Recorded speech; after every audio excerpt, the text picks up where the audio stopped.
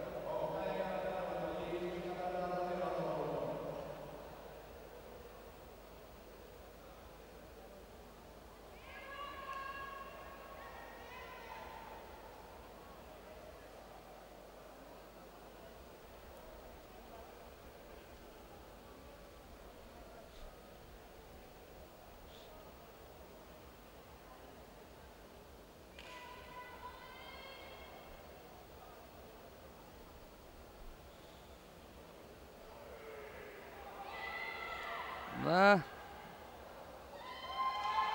qalib müəyyənləşir.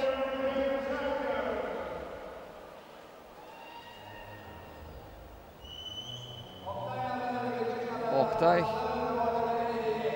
Məmmədov məğlub oldu. Hakan Berglund isə